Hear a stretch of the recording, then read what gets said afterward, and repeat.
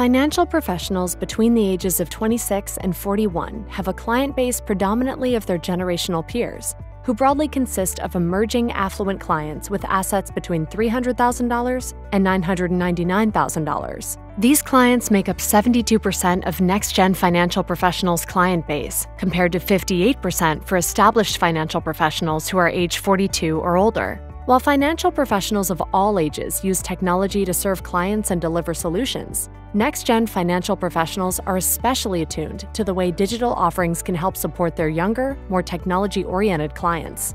67% see tech improvements as very important or critical for client support, compared to only 53% of established financial professionals.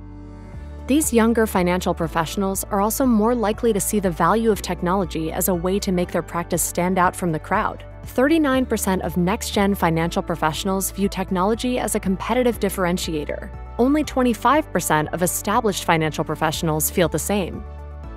One reason for this shift in view may be the recognition that technology improvements can also make a big difference for a firm's back office functions.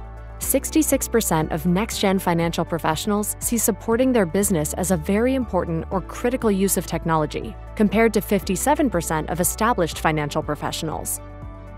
Improving critical operational capabilities can lead to happier employees with more time and energy to devote to client interactions, a win for financial professionals, clients, and the firm alike. For more information, visit our website and browse the Perspectives article highlighting our next generation financial professional research.